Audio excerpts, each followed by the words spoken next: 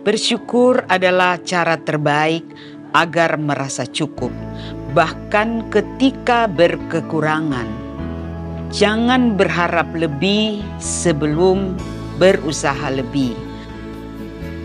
Saya Norce Henny Van Bone, Wakil Ketua DPRD Kota Manado, menyampaikan selamat merayakan Hari Pengucapan Syukur bagi seluruh warga Sulawesi Utara. Semoga berkat melimpah selalu menyertai kita.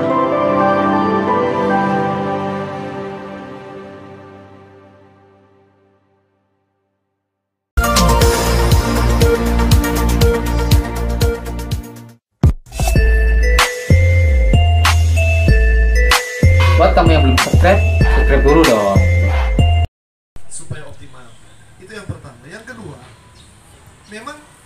Kalau pengusahanya nakal, niatannya tidak tulus, pasti tidak akan berhasil. baik. Tadi sempat disinggung bahwa ada alat perekam pajak. Mari kita turun lapangan.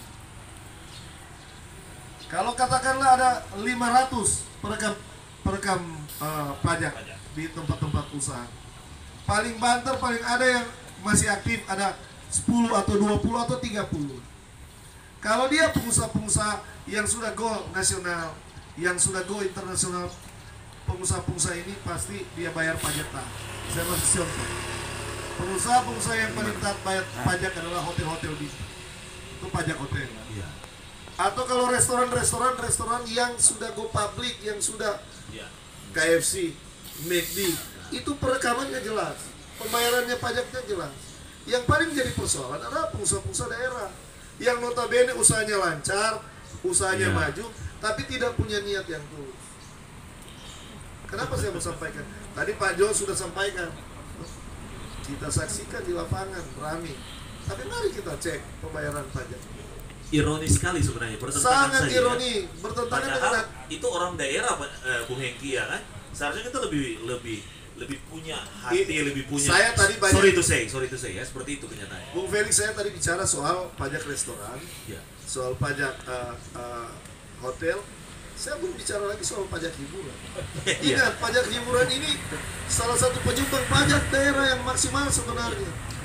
Contoh di kawasan Megamasi ini, ada banyak tempat hiburan, ada banyak paling banyak tidak bayar pajak dengan baik.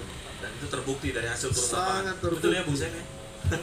Bahkan yang paling ironi, ada yang bayar pajaknya pengusaha usahanya eh, pub, tapi bayar pajaknya restoran. Beda.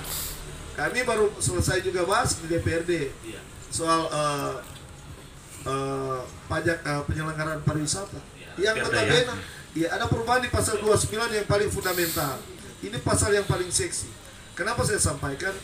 Apa orientasi dari pasal ini?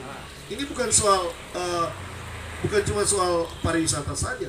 Bukan cuma soal pengembangan pariwisata. iya Bukan cuma soal kemajuan Kota Manado.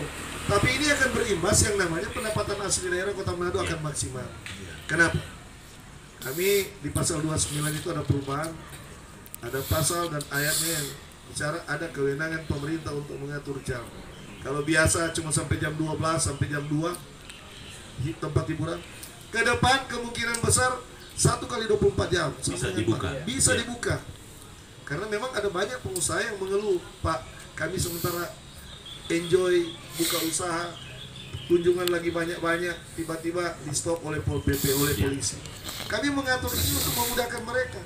Tapi yang paling ironi, sudah diatur begitu banyak yang tidak bayar pajak. Nah, Dan yang paling dia. luar biasa, ada yang luar biasa.